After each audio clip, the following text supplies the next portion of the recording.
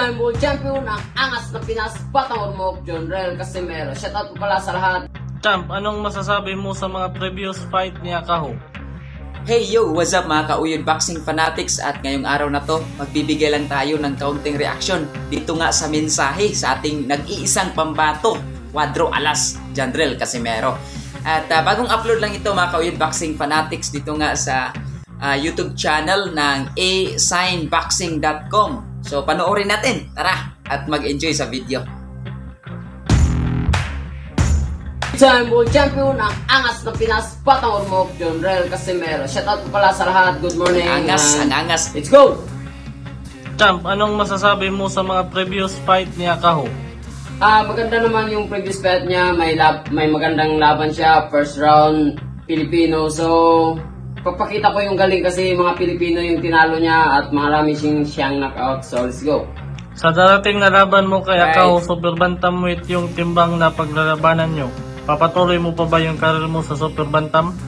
Yeah, uh, first time ko lalaban ng 122 so I will do my best. So maybe pag gusto kong bumaba ng 118, madali lang yan. So let's go. Let's do this.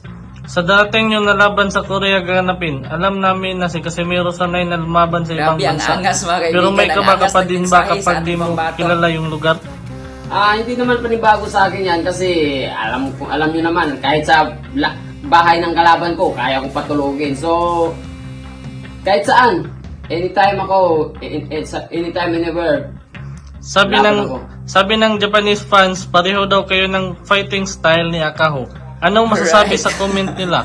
Ah, may totoo din naman kasi may knockout din siya, marami din siya napabagsak na mga boxer. So, magandang laban to para sa amin. So, good luck sa aming dalawa, both of them. So, good luck kayo, Akaho. So, let's do this.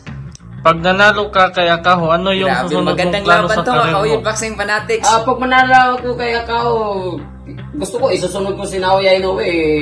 Basta hindi na siya tatakbo. Ah, bilib ako kay Akaho kasi lumalaban siya sa akin, hindi siya natatakot. Ah, good luck.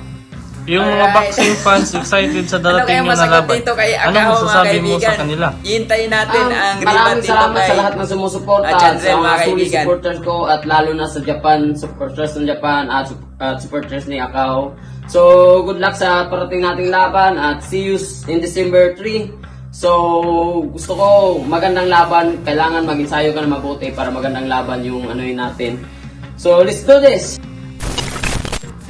Right, so I hope nagustuhan nyo ang video mga kauyod boxing fanatics at napakalupet at napakaangas ang mensahe ng ating pambato dito sa veteranong hapon na si Rio Akaho mga kauyod boxing fanatics at hintayin natin mga kauyod boxing fanatics ang mensahe rin no, ni Akaho dito sa ating pambato. So ayan lang muna at maraming salamat sa walang sawang panonood dito lang sa Uyod Boxing Fanatics. Thank you for watching Uyod Boxing Fanatics. You're never gonna make it, you're not good enough. There's a million other people with the same stuff. You really think you're different, man? You must be kidding. Think you're gonna hit it, but you just don't get it. It's impossible.